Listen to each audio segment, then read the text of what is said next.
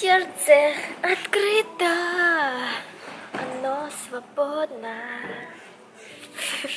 А, ради чего ты вернулась? Питер. Кофе, круассаны, Эйфелева башня, моя Прованция любимая такая. просто. Даже что ты не можешь, ты готов это сделать. Надежда всегда умирает последней, и тут я такая, нет, я не сдамся. Мне сказали, что без операции тебе нельзя, ты борешься сама с собой, вот. Хочешь, не хочешь, надо, надо идти на идти. работу. То я хочу бросить. Я Елена Еремина. Всем привет! И сегодня я дам свое интервью. Я отвечу на вопросы, которые задаст мне Лера. Надеюсь, будет интересно. Может быть, что-то новое узнаете обо мне. Давай, всем интересно, кто привел тебя вообще в гимнастику, как начался твой путь. Три года я пошла на художественную гимнастику. Там я отходила три месяца. Мне сказали, что я жирная. И мне сказали, а мы с мамой шли на тренировку с мороженым. И нас по пути встретил тренер. И она такая, деточка, а тебе не мороженое есть, надо худеть. Ну все, мы ушли. И потом мой первый тренер э, набирал отбор в садиках, и меня пригласили туда на спортивную гимнастику. И все, и у меня что-то полу- начало все получаться, получаться, получаться, и все, я осталась. А мама не хотела мне спортивную давать. А почему? Потому что она занималась уже спортивной, чуть-чуть совсем для себя, и она такая, не, это очень тяжело, не отдам девочку в свою спортивную гимнастику, отдала в художественную. А почему она в итоге вот отдала тебе все Потому что у меня начало получаться А вообще тебе сама нравилась? по накатанной. А я не помню, я вообще не помню это время. Ну, у меня было всегда такое, если меня водят, значит надо. А когда выросла, уже не хотелось бросить? Вот самой, вот уже когда в осознанном э, У меня был возрасте? один момент такой э, в жизни, когда я сказала маме, только маме, что я хочу бросить. Один раз в жизни я такое сказала. Что это поспособствовало? А Была просто дикая черная полоса, были какие-то соревнования, перс России или что-то такое. Ты еще достаточно маленькая была, лет 10-11, да? Вот? Да, может 12. И вс- я очень плохо выступила, у меня, меня очень сильно ругались, и все, и каждая тренировка была вот просто черным пятном. Я уже устала, устала от этого, и вот я сказала маме, помню один раз. Но она сказала, что тогда, а чем ты будешь заниматься? Танцы? Говорит, рисование? И чего? И все, и я даже обиделась тогда, помню, такой поддержки не было. Ну, а Ну и вот все. ты не думала сказать маме, ты же сама не хотела там меня отдавать в гимнастику, знаешь, Ну, насколько в детстве я такое вообще не могла сказать. Ну, а вот потом, когда уже а устала, потом допустим, уже Когда вот она тебя не поддержала, сказать, Ну, это что- было вот лет в 12, да. Вот. Я тогда не могла сказать ничего. А. А, потом уже, когда, естественно, по- постарше, уже же тоже черные полосы и все такое. Но я всегда к этому, к этому подходила, что надо. Я не знаю, вот я бывала просто адовые тренировки, а я понимаю, что я не хочу, а я понимаю, что надо. И я не могу прийти, не прийти на тренировку, как бы плохо и она не закончилась. Сейчас это у тебя, грубо говоря, уже как работа, Да. профессиональная работа, как люди работают. Да. Так у тебя. Хочешь, ты не хочешь, надо, идти на работу. А чем бы ты хотела заниматься, вот, если бы не спортивная гимнастика? Ну, спорт, мне кажется, у меня бы пошел плавание. Именно нравится, и, возможно, может быть, даже прыжки какие-нибудь в воду. Да сто пудов танцы бы пошла. Может быть, рисованием занималась, потому что тоже неплохо рисую. Что вообще дала тебе гимнастика? Наверное, мне кажется, ну, спорт жестко характер ставит все-таки. Какой бы он ни был, а спорт идет против твоего характера. И ты борешься с этим. Ты борешься сама с собой, вот. Тебя это закаляет? Меня это бесит. Меня это бесит. Потому что я ненавижу, когда идут против меня, а спорт идет против меня. И тут такая жесткая борьба, конечно, идет. Плюсы, в первую очередь, характер ставят, дисциплина, потому что, не знаю, я встречала вот даже тех же одноклассников, каких-нибудь сверстников, у них вообще нет дисциплины, и ты смотришь на них, ну как так можно, а у тебя просто стержень такой. По жизни, мне кажется, легче. Мне кажется, за 18 лет столько прошли в спорте таких ситуаций, то в жизни ты потом некоторые плачут, там лежат, а ты думаешь, это фигня просто. Сразу раскрываешь людей. Для меня это прям вот в спорте я прям люди раскрываются такие, какие они есть. Сложные ситуации, где нужно быстро решить вопрос, и все, и ты сразу видишь человека, как он реагирует, что нужно сделать. Ну вот мне так кажется. Минусы здоровье. Это главный минус, мне кажется, в большом спорте. Какие у тебя были травмы? Для тебя самые серьезные? Ну, Спина, конечно. Одна такая самая вот. Да, у меня было много травм, но самое главное это спина. Можно сказать, конечно, потеря времени, ну не потеря времени, а отречен от мира. Обычного. Спорт это другой мир. Да, спорт это вообще другой мир. Но я не назвала бы это тоже минусом, потому что у тебя другой мир.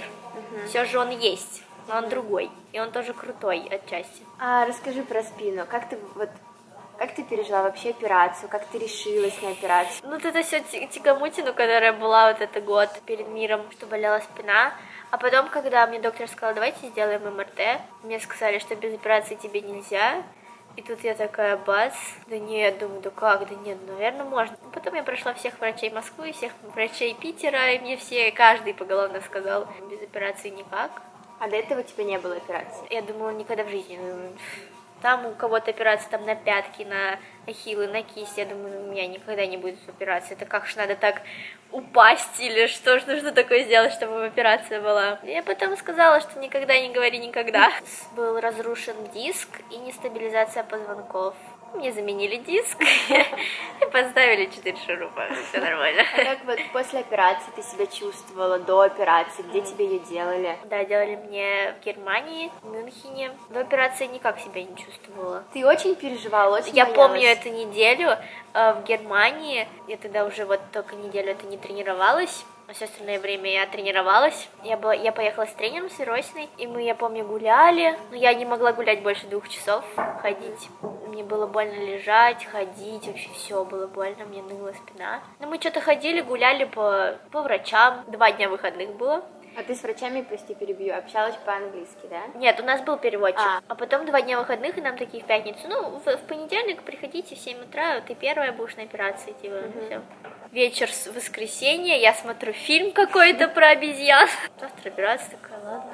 Утром встала, мы с Веросиной поехали, спокойненько приехали. Палаты не было свободной, мне там в комнатку завезли. В сережках жить нельзя на операцию, а мои сережки не, не, не снимались, и мне пришла медсестра с плоскогубцами снимать эти мои сережки. Они мне такие, ладно, все, я была на операции в этих сережках. Мы при... Вот когда я легла уже на, на кровать, когда меня повезли, вот этот момент я помню, а я лежу и понимаю, зачем меня везут. Я могу уже ходить. Я вот в этот момент у меня были мысли, может, не надо операцию, но я же хожу, самое главное же ходить. Говорю, вот если бы я не ходила, тогда я бы ну, могла. Ну, в этот момент просто я такая, блин, может, не делать, вот так одна мысль была. Почему я? Я же могу дойти до, до операционного этого стола, почему меня везут? Привезли меня, а со мной только мой тренер Веросина и переводчик. В этот момент я лежу и понимаю, Веросин для меня близкий человек, но все равно не настолько. Я такая лежу и думаю, я одна, без родителей даже рядом нет. Вот.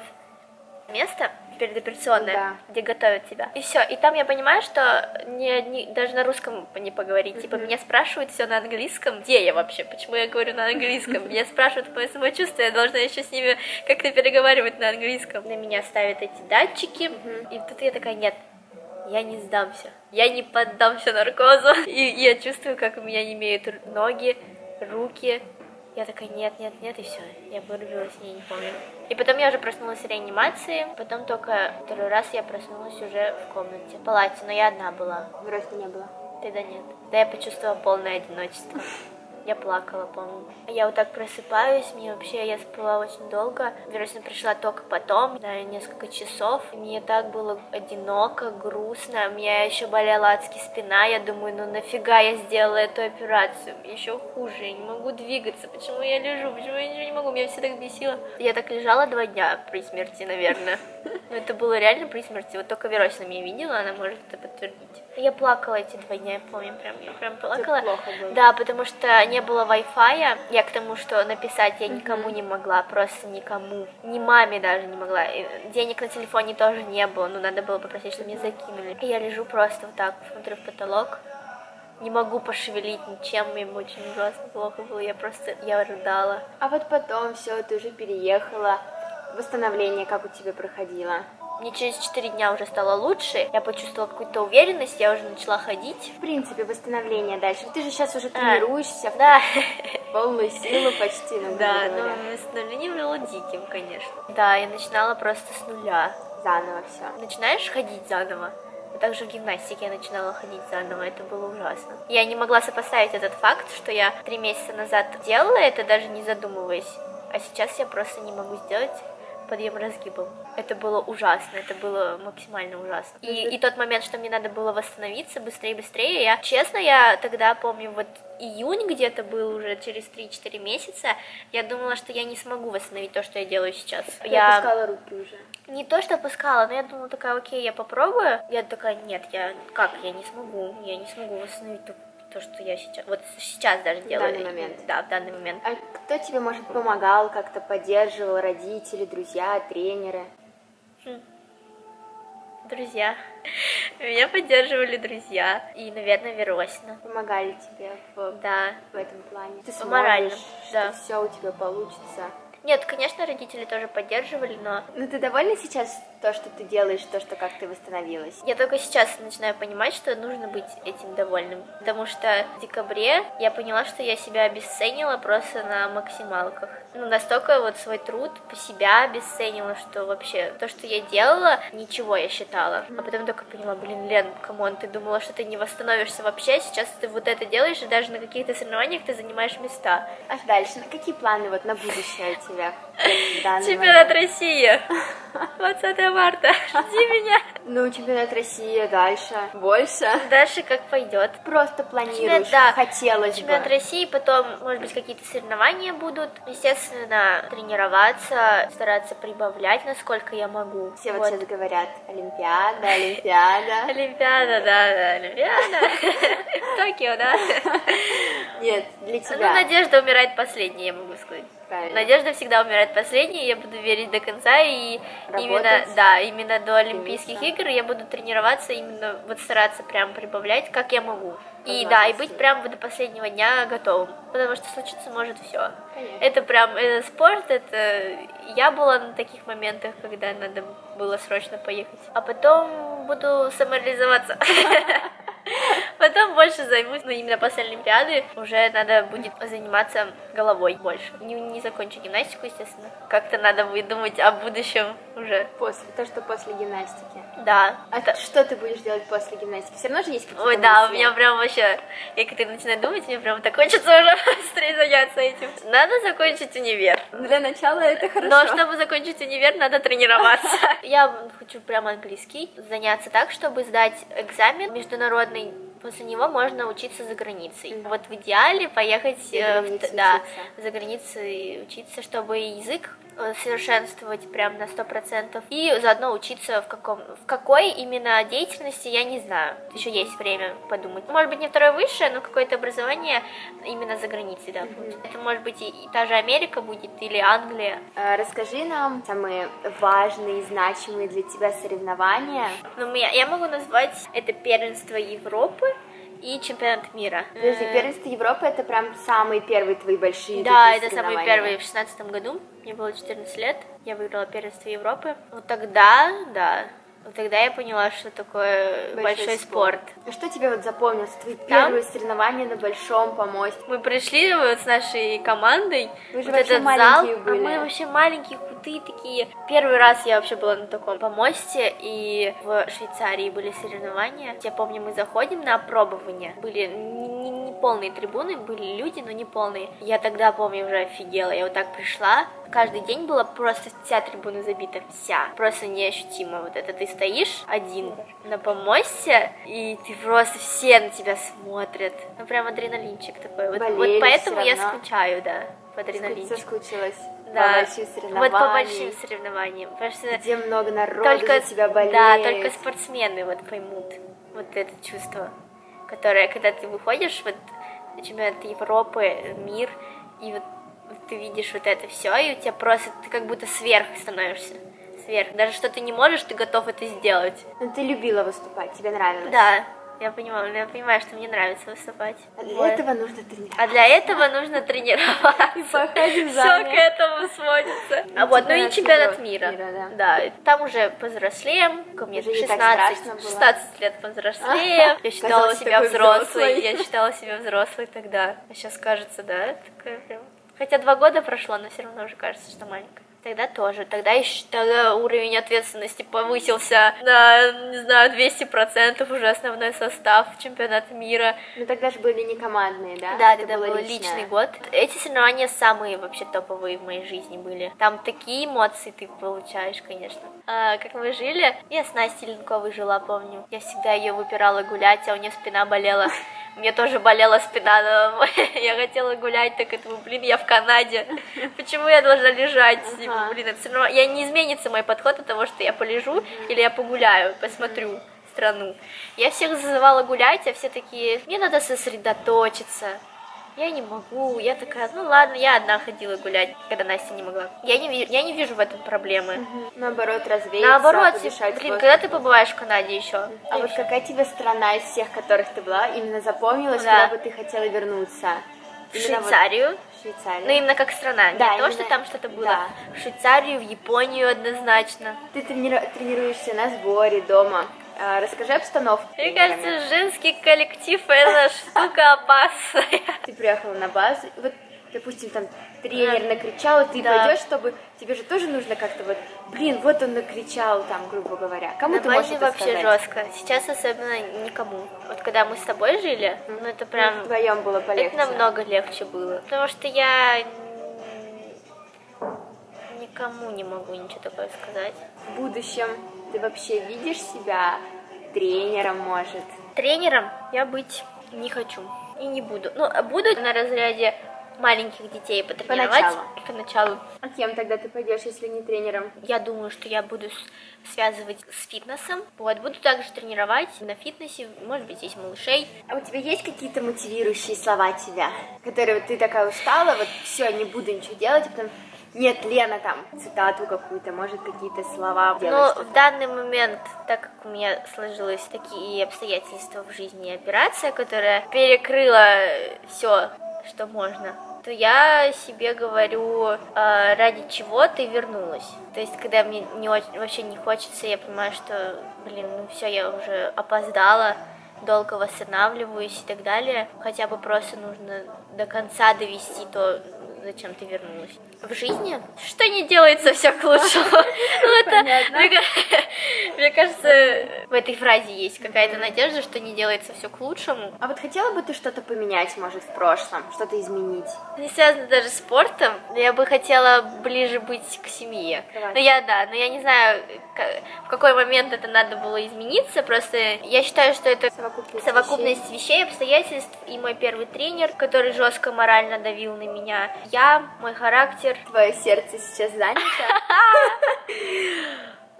Нет. оно свободно. Ну да. Ну, ты такая спортсменка, комсомолка, как говорится, красавица, умница. Неужели никого нету, кто запланил, кто украл твое сердце? Нет. Ну, значит, Я- найдется еще. Не Да, время. найдется. Сердце открыто, оно свободно. Из детства я не могу вспомнить ничего, кроме тренировок. У всех какое-то воспоминание, там в саду бегали, там в песочнице копались, там помнишь, ты так это сделала. Я ничего не помню, кроме тренировок, вообще ничего. Вот Ну, зал. это, наверное, у многих же спортсменов. Да, я соглашусь, у многих спортсменов такое. Получается, я ходила утром в школу, в школе была, потом на тренировке. Приходила домой, делала уроки, ложилась спать. И вот такой вот круговорот был. Потом, когда уроки уже не 4 урока, а 6, и ты утром говоришь «мам, пока», и приходишь вечером, говоришь «мам, привет», спокойной ночи. Когда у меня, на меня в школе давят, ну, получается, учителя все равно, потом на тренировке мой первый тренер давил очень сильно морально. Почему ты в детстве не могла сказать, И мам?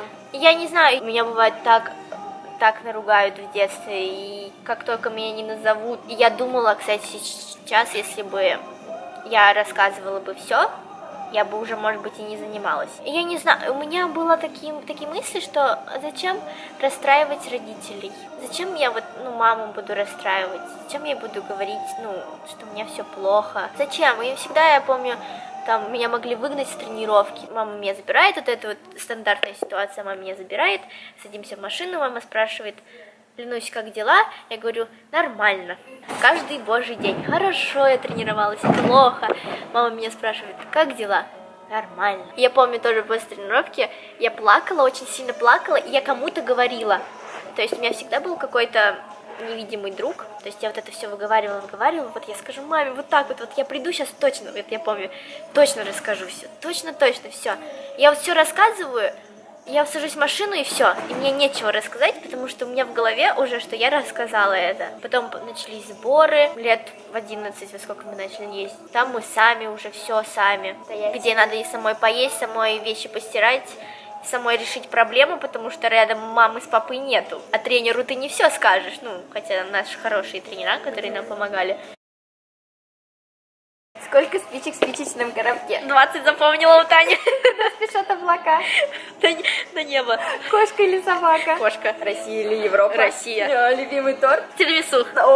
Замок с привидениями или подземный лабиринт? Подземный лабиринт. Э, Пончик или блинчик? Блинчик. Э, Со сгущенкой или шоколадом? С сгущенкой. А, Фильм или книга? Книга. Сериал или книга? Книга. Сериал или фильм? Фильм. Э, Сок или газировка?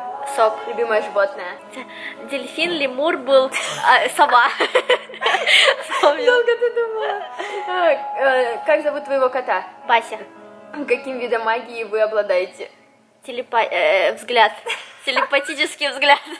Свет или тьма? Свет. Какой стихии ты себя бы отнесла? Огонь, вода, Огонь. земля. О, брусья или бревно? Бруся. Брусья или прыжок? Бруся. Бревно или вольное? Можно? Бревно. Что тяжелее, килограмм гвоздей или килограмм ваты? Одинаково? Почему утки плавают? По воде. Ну вот и все, это было интервью со мной, надеюсь, было интересным, надеюсь, вы что-то узнали обо мне нового. Если хотите узнать Лерку поближе, которая с ним задает вопросы, то мы спросим, может быть, у нее в следующий раз интервью. Всем спасибо за просмотр и всем пока-пока.